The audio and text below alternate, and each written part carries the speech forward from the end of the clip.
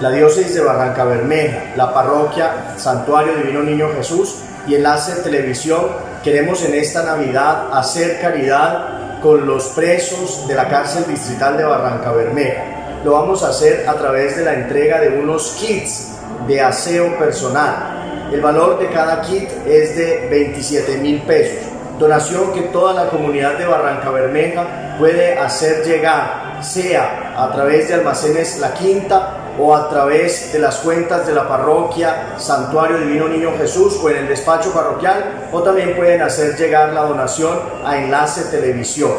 ¿Cuál es el ideal? Que nuestros presos, aquellos que están privados de la libertad, puedan tener una persona, una familia que en este año les dice feliz Navidad. Ojalá que todos se puedan unir a esta campaña que va hasta el 20 de diciembre, el 22 de diciembre haremos la entrega. Agradecemos a todos su colaboración, Dios bendiga y multiplique su generosidad. Es Navidad, tiempo de hacer caridad con los prisioneros de nuestra cárcel distrital.